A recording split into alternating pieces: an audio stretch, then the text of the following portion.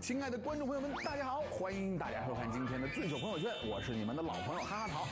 我知道啊，由于我这个性格直爽，所以工作以来得罪了不少人啊，有自己栏目同事啊，也有隔壁栏目同事啊。但是我还是希望你们不要把这件事情放在心上啊，因为呀，哎，这都怪我，哎，太英俊潇洒、风流倜傥、真性情啊，这这这是大自然的规律，对不对？没有办法避免的啊。所以今天我特地发了朋友圈一条啊，一切的话语都写在里面了，你们自己体会体会。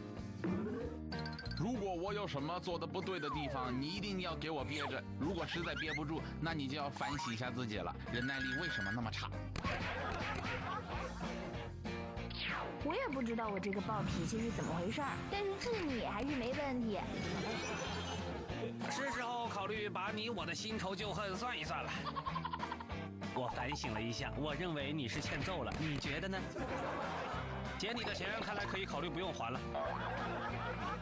是时候把你平时迟到早退的事情告诉领导啦。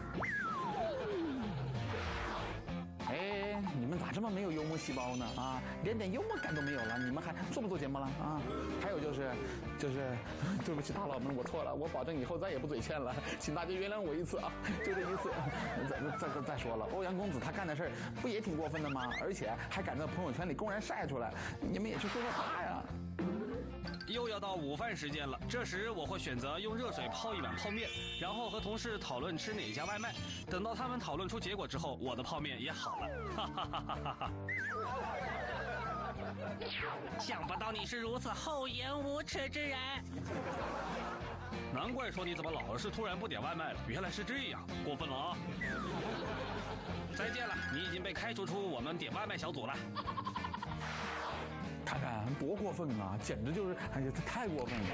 上次就是啊，本来我还开开心心的和他讨论说吃什么啊，好不容易商量好了，他就给我来一句，哎，我的泡面好啦，我去吃泡面去了。你说这我气不气啊？这不是坑我吗？那真的是专业坑人三十年啊！